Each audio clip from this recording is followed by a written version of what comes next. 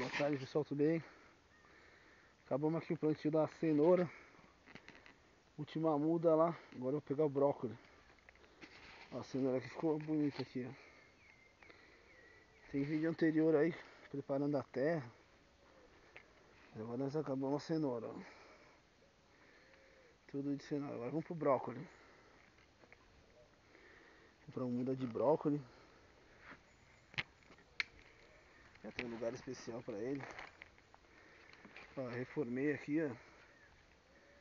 A entrada, tudo certinho. Cercamos a horta. A horta caseira, né? Não é nada pra produzir nem nada. Mas tem bobão que vem pegar as coisas aqui. Olha o cacho de banana, Pena que não vai dar pra levar tudo. Um pouquinho só. Olha aí, ó, os graúdos, ó. É só graúdo, mano. Eles já tão grandão, ó. Precisa de pouca água. Tomara que, que alguém venha rezar, né? Talvez o caseiro que vem aí.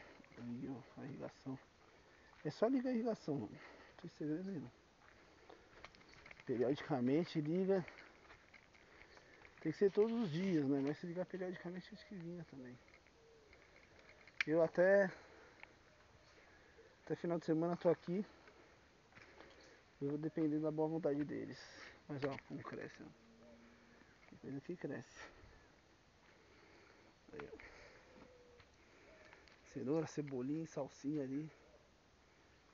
A salsinha tá bem tímida, mas tá feio. Agora vamos pro brócolis. Esse é o brócolis, mano. Não é brincadeira não. Esse aqui é o brócolis. Vou plantar dois, um aqui e um ali. Curte aí, deixa o like, compartilha. Isso aí. Curte e compartilha.